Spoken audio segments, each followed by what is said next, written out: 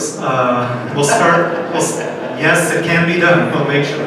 We're going to start with Senator Madaleno and move down and then back this way. Um, many of you mentioned Metro. Uh, if elected, would you introduce or support a bill to provide dedicated state funding for the Metro system? Senator Madaleno? Yes. Yes. Mr. Rupp? Yes. Absolutely. Mr. Baker? Yes. Yep. Mr. Campbell? Yes. All right, we're, we're on the record here. All committed. Uh, Yeah, but they didn't Let's, uh, would they be willing to raise taxes? This is a question for all again. Let's, uh, this is a, a school funding question. Let's start with Mr. Shea and then move down and then back this way. Um, so Montgomery County has 17% of the state's student population, but only gets about 11% of state school construction funding. Uh, do you think that's fair, and what would you do to minimize the discrepancy? Uh, Mr. Shea? Well, the statistics speak for themselves, and so do all the trailers that we've got throughout Montgomery County with no buildings for the students to participate in. This gets back to my point about building on strength. You can't expect your strong uh, players, your strong county, to prosper and do what they can for the whole unless they're treated fairly and equally.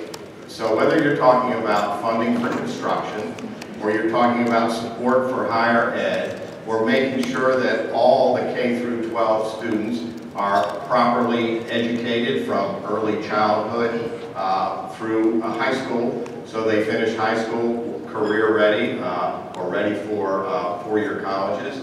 Absolutely. Uh, We've balanced all of that out. Mr. Roger? So this is a deeply personal issue for me because I will say that um, I'm actually the only candidate uh, on the stage um, who is a product of Maryland Public Schools from kindergarten to 12th grade. And like Montgomery County, Baltimore County, I think, is uh, similar in the sense that there are very different types of schools. I went to Woodlawn High School, which many of you may have only known because it was featured in the Serial podcast because of a murder at my high school, and I'm happy to tell you whether I believe Adnan Syed did it or not. But I know what it was to go to a school that had water that you couldn't drink. I know what it was to go and learn in so-called temporary trailers, which when I went back to the school just a little less than a month ago, those trailers were still there. The sad reality is that we cannot have our children in schools where they are literally crumbling.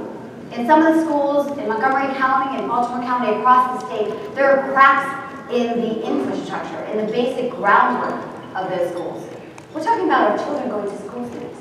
And so for me, it is about how do we make sure that our kids have not just a conducive, but a safe learning environment. How are we making sure that our teachers are prepared so that they don't get in the position of one of my teachers, who had to teach both French and Spanish literally in the same class to the same students. Those are the kinds of situations that we have in a, in a state as affluent as ours. And this is where I think as Democrats, we have a vulnerability that we need to highlight for Governor Hogan. Under Governor Hogan, our schools have fallen from first to fifth. As governor, I will make sure they return to top class. County Executive Baker? Yes, no, it's not in there. Um, for probably the last three years, I guess, uh, County Executive Leggett and County Executive Kamenetz and I have gone to uh, the General Assembly and asked for um, the ability to deal with the overcrowding in our schools. For Montgomery County, the student population is going up. Uh, for Baltimore County and for Prince George's County, we have some of the oldest schools in the three largest jurisdictions in the state. And so coming up with a formula, this is not just about Governor Hogan being there. This is actually about the leadership at the governor level, understanding that the three largest jurisdictions are facing this and being able to show the leadership so that General Assembly can help us put together a formula where we're building these schools. As your student population goes up, you know, you need more space capacity. In Prince George's County, we have some of the oldest schools and we need to build, uh, replace those schools, but we need the funding. We were willing to put a two to one match up, you know, where our counties are giving two to one for the state, but we couldn't get that deal. We all supported Baltimore City uh, building its schools there because it's needed. But we need a governor that understands that the needs of the uh, school system across the state and being willing to step out there and make the argument at the General Assembly, and that's what I would do so anyone who's heard me talk about education knows it's an incredible part of my inclusive growth strategy. No. Inclusive growth strategy. Yes. Uh, excellent education, regardless of zip code.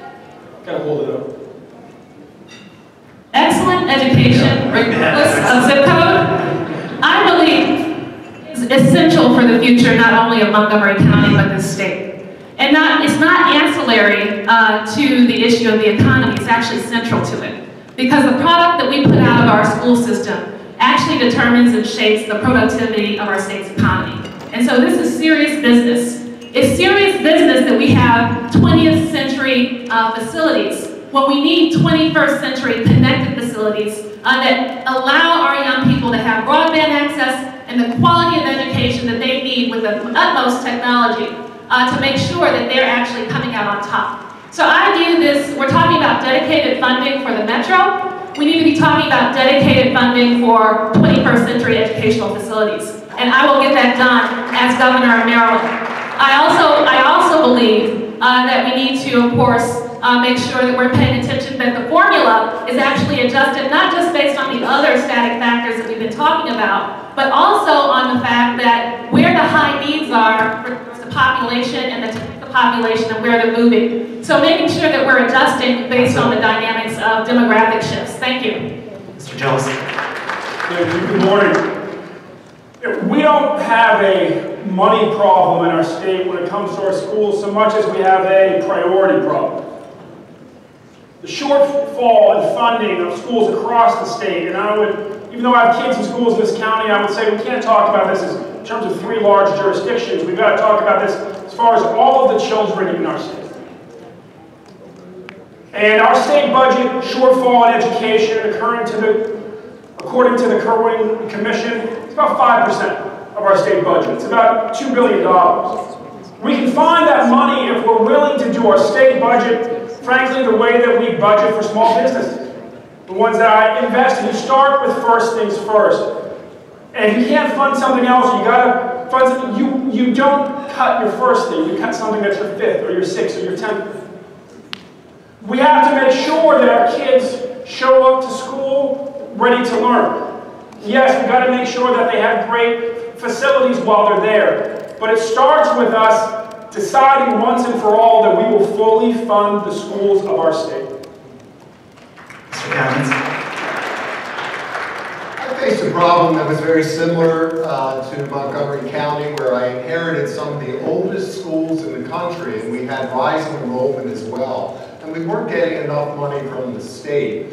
We elected to, for every one dollar we received from the state for school construction, we put two county tax dollars in to build or rebuild 90 schools in a $1.3 billion investment.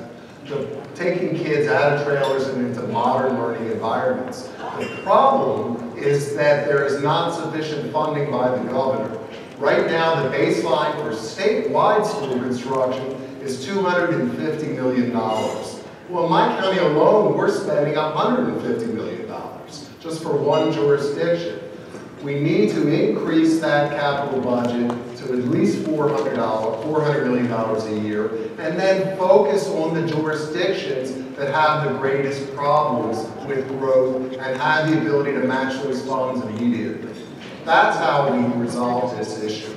Right now, the governor is politicizing the school construction program with his begathon, uh, with his, uh, his emphasis uh, to, uh, to uh, try and make, score political points as opposed to solving problems.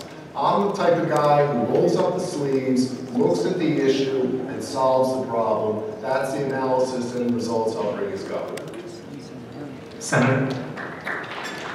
So, uh, you hear us complaining about the governor, and this isn't just partisan. It reflects the fact that Maryland's governor is the most powerful governor in the country when it comes to the budget. Truly, our state constitution has different rules than everyone else.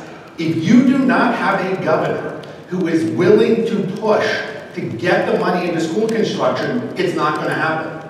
Because as all the legislators can tell you, once that budget comes in and the schools are identified, you're never going to be able to take schools away from Prince George's to give it to Montgomery or away from Frederick to give it to Howard. That's not how it works. You need a governor who's going to be putting the money in from the beginning. I was there at the table and helped develop the Baltimore City School Plan. That is a model for the rest of the state. I begged Lieutenant Governor Brown to run on that four years ago, to come to Montgomery County and say, I will deliver a billion dollars worth of school construction in four years in partnership with the county and the school system in order to get things done. He didn't and he lost. I'm not going to make that mistake. It's the reason why I'm running, so that we can move forward with, with Montgomery, with Prince George's, with Baltimore County, to ensure that we provide the facilities we need. It's not going to happen without a governor, and I am uniquely positioned as probably the person who knows more about the budget than potentially any other elected official um, in, in the General Assembly. But it is there, I'm going to be there to make sure we get this done. Mr. Ross. Provide some context, I, I began my career as a sixth grade pub- public school teacher at Booker T. Washington Middle School in West Baltimore. Uh, I fell in love with a math teacher across the hall, and 23 years later, she's still teaching sixth graders in Baltimore's public schools. Our three kids are all in public schools.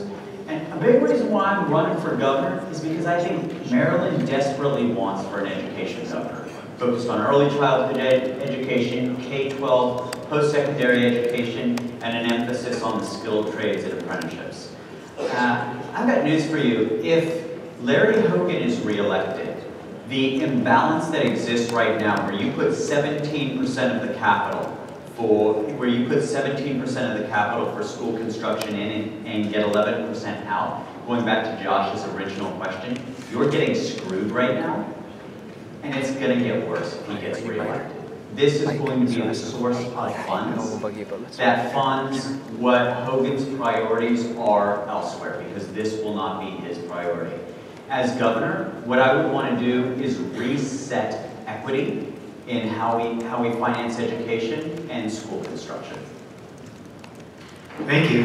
Um, incredibly, we're almost out of time, and while it's true that there has been plenty of agreement among the eight candidates, I think if you kind of, you know, there are definite differences in terms of the priorities they've set and the things they're talking about, and so I hope this has been a useful uh, conversation for you all. I would like to end with one rapid fire question that probably isn't going to uh, provoke agreement among these eight. Um, and I'll start, I apologize, Ms. Cummings, with you. So the question is very simply, before we get out of here, Nats or O's?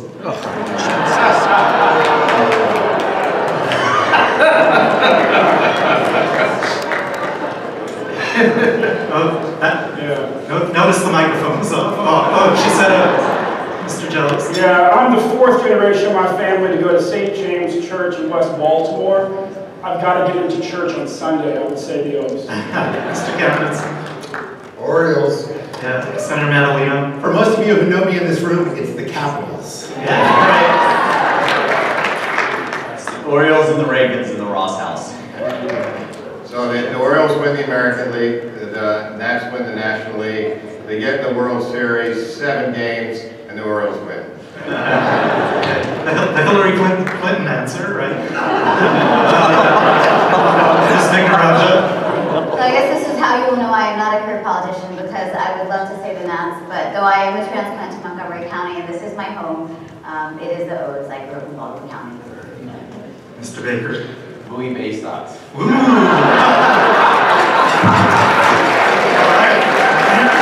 Hometown team, love it. That, that's it, folks. Thank you all. They did a great job.